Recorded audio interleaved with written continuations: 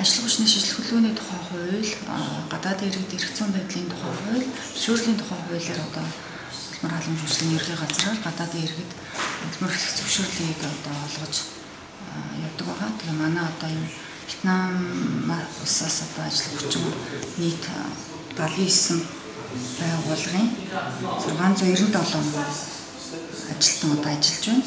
Нийт 86 аж ахуйн нэгж байгууллагын 745.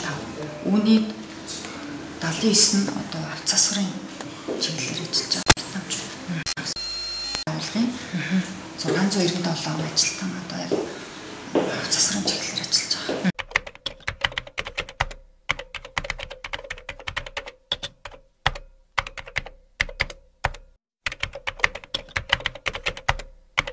ажлын хүчний шийдлүүлгээний тухай хуулийн 5 дугаар бүлэг заасан байгаа.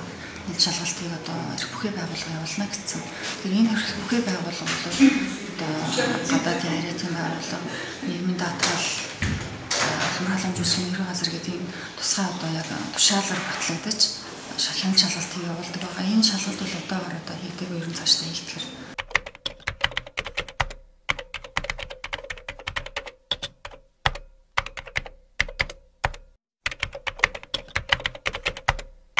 ковид өмнө шигдчихсэн байна.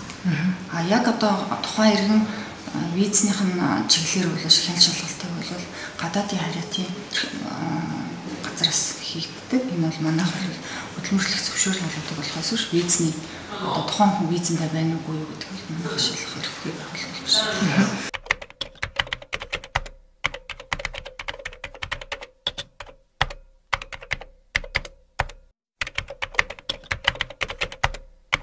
Тэрийг бол манай байгууллага одоо тэр эрүүл мэндийн даатгал дээр хэдүүн хамгач юм гэдэг бол санах шалгах боломжгүй. Энийг бол эрүүл мэндийн даатгал ерхий газар болон ажил олгогч орн одоо энийг шалгаж тогтоох одоо явуулах юм боломжтой. Ер нь бол ажил олгогч энийг ажил аж ахуйн нэгжийн одоо өөрийн хариуцлагын юу байгаа шүү дээ. Тийм.